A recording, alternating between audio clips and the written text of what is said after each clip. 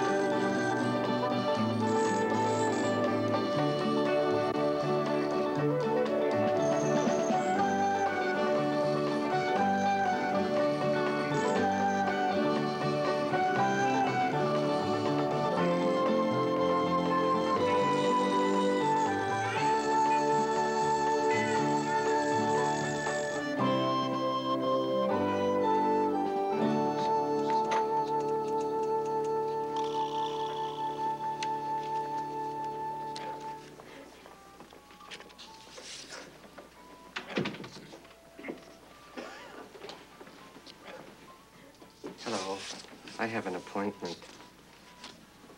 My name is... Evers. Oh, yes, Mr. Evers. oh, I'm sorry. I, I thought it said Mr. Evers. Mr. Evers, isn't that what it said? Yes, Oh, good. For a second there, I, I thought it said Mr. Evans instead of Mr. Evers.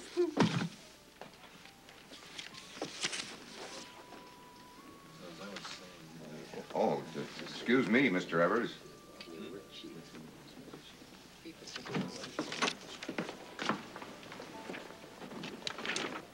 Harry! How are you? What are you doing here, Marvin? I thought we'd uh, we'd grab a bite together before the game tonight. How did you know I was here? Well, your uh, your secretary told me. My secretary told you I was here? I uh, I didn't know you got the axe. I didn't get the axe. Well then, uh, Well, we're expanding, and I'm looking for some new executives. Mr. Evers? Oh, thank you. maybe uh, maybe these people could could help me. You need a job? No, I need a, a top guy to work for me. Who who work cheap. To do what? Well, to run my business for me be, before I kill it. what are you talking about? Everybody thinks there's a fortune in the garment business, but uh, if if I don't come up with a big style soon, uh, I'm bankrupt. Mr. Evers, you can go in. Oh.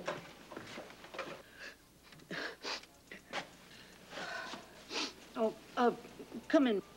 One.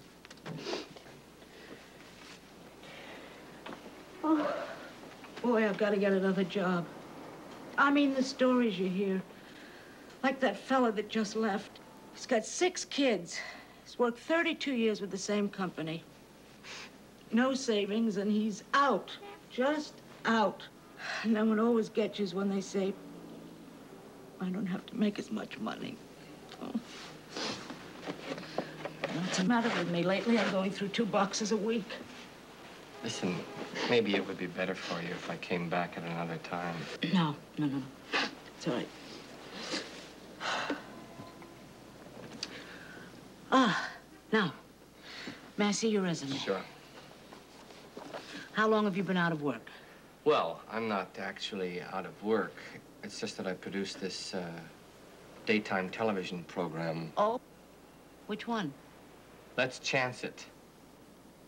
Uh-huh.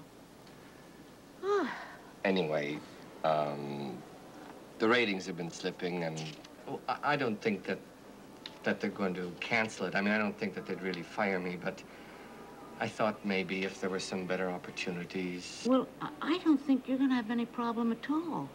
Do you mean that? Well, with this background, I can practically guarantee you the salary you want, and you can almost pick the part of the country you want to settle in. Oh, my. Oh, my. I can't tell you how that makes me feel. I was so worried. The ratings, everything my wife said, you don't have anything to worry about, and she was right. I'll just write some letters to the companies we deal with, and you can come in next week and sift through the offers. Can't tell you how that makes me feel. I feel so relieved. Relieved, that isn't the right word. I feel terrific. Me too. Thanks. Thanks. I'll get in touch with you next week at the latest, Mr. Wood. My name isn't Wood. That's what it says on the resume. A man out there handed me a resume. That must have been Mr. Wood. Okay, let's see your resume. A year and a quarter of college? Look, you want to talk to Wood? Shh. You put down here that you were once an usher. A page boy. Not an usher, a page boy. I'm sorry. What's the difference? Well, there isn't any. All right, and you produced this TV show, Let's Chance It, for five years, and before that you assisted somebody who did it. And now you're willing to relocate and change fields, work for less money? Harry, right now you have a good job. Believe me, you have a good job. What if I lose it? If you lose it, it is no longer a good job. Harry, I want you to come and see me next week. For what? What's the use? Well, please. Come on, come back next week, huh? Come back, will you? Well, if you want me to. Where are you going now? I don't know. Get something to eat, to go to my poker game. You know, your wife is still right. There's nothing to worry about. She usually is. Second marriage. No, no, first. My marriage is the only thing I've got working for me. Uh, Harry, about the poker game. You don't play for a lot of money, do you? No, Good.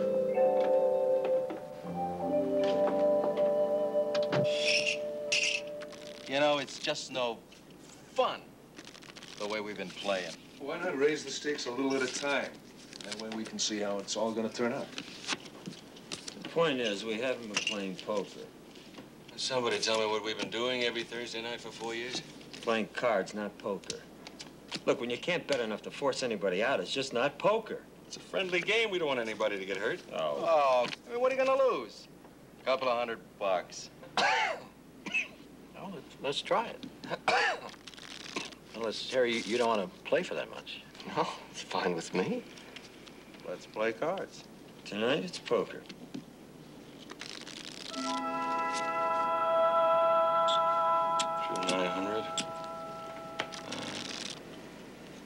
Yeah, it all adds up.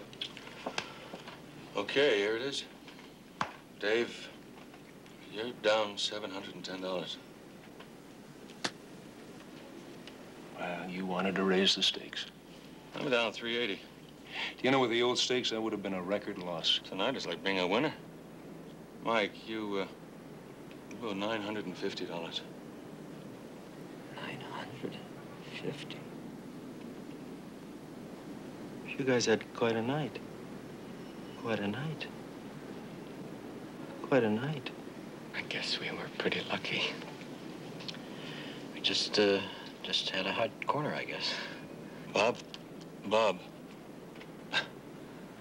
you, uh, you owe, uh, you owe $1,675. One, 100, no, 600. Uh, how, mu- what was that? Bob, it's $1,675. $1,600. I have to work a long time for that kind of money. 380. That's mine. Harry, you won 2450. Marvin, you won 1265. Split it up. This is really very embarrassing to win this much money.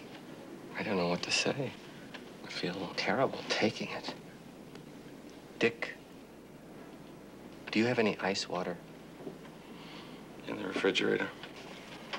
Winning this much, it's, it's terrible. That's what's so rotten about the stakes, you know. I mean, the, the winners feel rotten. And the losers feel even worse. It's just uh, terrible.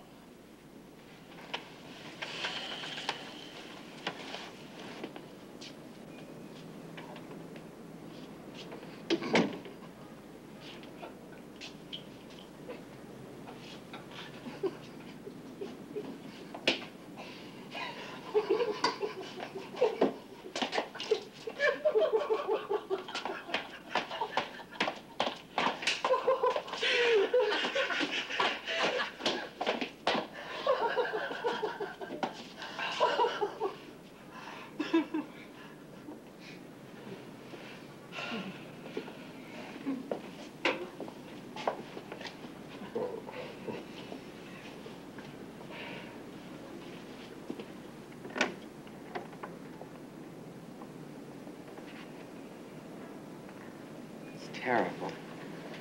Just terrible. I, uh, I promised my wife I, I wouldn't be uh, too late tonight. Oh, I'll go across town with you. I have to leave now. Oh. Oh, Dick. You paid, didn't you? This is yours in the middle, isn't it? That's mine. Oh. You guys gonna pay, or you want uh, our seconds to contact you in the morning?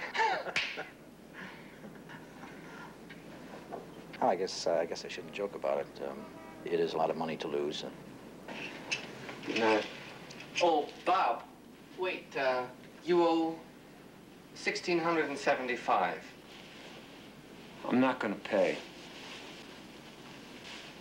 You agreed to the stakes. Agreed to it. It was his idea.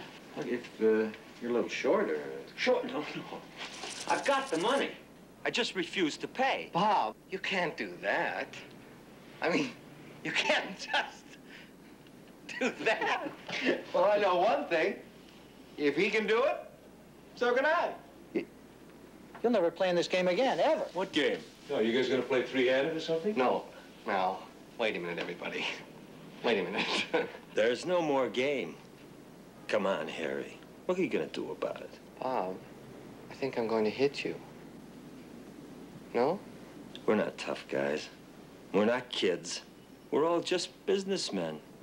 And businessmen don't go around hitting each other. So let's try to act civilized. Hey, this is my house. I don't want anything broken. Goodbye. Bob, Bob, wait. Hmm? I think I'm going to hit you again. Ow! Ow! Ow! Bob, you're a dirty fighter. Why don't you fight fair? Ow! What are you hitting me for? For bluffing me with four bucks. Not fair. Oh, I'm sorry. I want you out of my house. Ah! Whoa! Okay, Marvin, I warned you. The table's okay. I don't want to fight you, Dick. I mean, I mean, you played ball in college and I didn't, and, and you work out and I don't. The coffee table is okay. Let go. yeah, let go. You better let go. Oh, my God. I think my tooth is loose. Let go. No. I always chickened out when I was a kid. I'm not going to chicken out now. I'm not afraid of you. I'm not going to let go. What are you talking about? You gotta let go of him sooner or later anyway. What, are you gonna go through life like that? Okay, mister. I'm gonna tell you again. What's that Mr. business? You're not Jimmy Cagney. Oh. I'm winning. How do you like that? I'm winning. I'm losing. Marvin, I'm losing. I want you out of the house.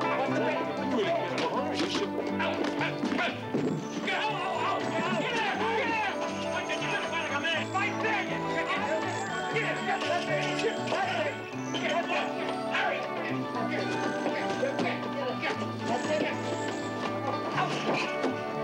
out of here!